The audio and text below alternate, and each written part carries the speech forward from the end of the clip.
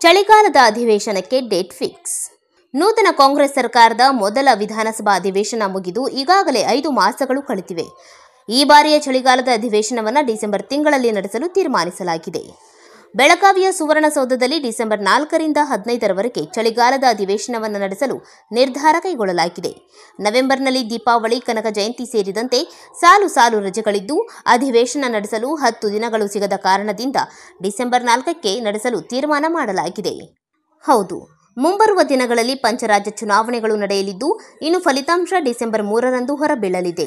ಅದರ ಮರುದಿನವೇ ಅಧಿವೇಶನ ಪ್ರಾರಂಭವಾಗಲಿದ್ದು, ಇದು ಈ ಬಾರಿಯ ಕಾಂಗ್ರೆಸ್ ಸರ್ಕಾರದ ಎರಡನೇ ಅಧಿವೇಶನವಾಗಲಿದೆ. ಇನ್ನು ಬೆಳಗಾವಿಯ ಈ ಅಧಿವೇಶನ ಹಲವಾರು ಮಹತ್ವದ ನಿರ್ಧಾರಗಳು ಹಾಗೂ ಚರ್ಚೆಗಳಿಗೆ ವೇದಿಕೆಯಾಗಲಿದ್ದು, ಉತ್ತರ ಕರ್ನಾಟಕ ಅಭಿವೃದ್ಧಿ ದೃಷ್ಟಿಯಿಂದ ಯಾವ ರೀತಿ ನೆರವಾಗಲಿದೆ ಕಾದು ನೋಡಬೇಕಾಗಿದೆ. Right click news, Belagavi.